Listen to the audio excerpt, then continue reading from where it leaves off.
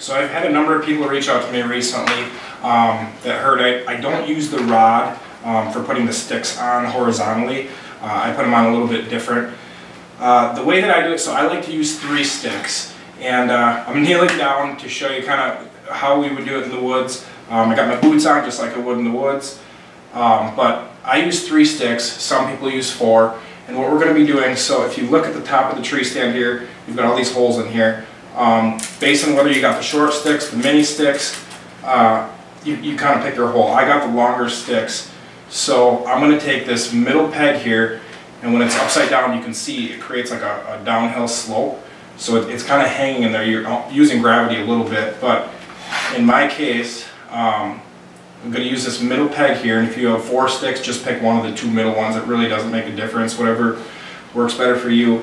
And uh, I'm sticking that middle peg into that hole there, and you can see it's it's locked in there, but now you just have to fasten it, strap it to the stand. So the way I like to do it, I got my strap laid out this way, and I just go over the top of the sticks twice. So it's hooked on the top Versa button. My buckle is exposed so I can get it out of here. And I just go over the top once, strap it through, just pick a, pick a place to strap it through that works. And then you go over the top one more time. That way just in the woods I have my foot under part of it so that I can get through. And then at that point all you have to do is just pick, you can take your loop here from what's left on the strap and you can hook it on here, you can hook it on a foot peg, it really doesn't make a difference. I guess I like the middle foot peg. Tighten it back up.